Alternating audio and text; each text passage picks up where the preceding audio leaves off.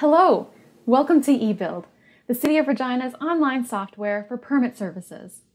Once you've completed your project's application package, found on the eBuild homepage and regina.ca slash build, begin your online submission by clicking Apply for a Permit. Step-by-step instructions are available in the online eBuild user guide. On step one of the application process, select an application type. Enter a brief description of the work being done, then enter the estimated cost of construction.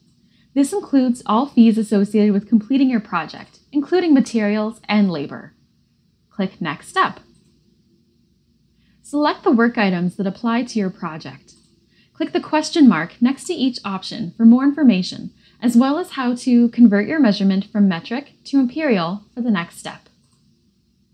Click Next. You'll be asked to enter your measurements in metric. We will be moving to imperial measurements in the future. Many applications include a building and zoning review, and you will be issued both a building and development permit upon approval. If a development permit is required, this field will auto-populate correctly. Click Next.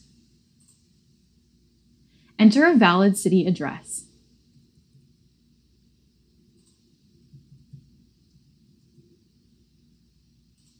Click Next. Due to security reasons, ownership and applicant information will not appear. However, make sure you have completed Section A of your application form found in the application package on the main page. Need more time to submit your application?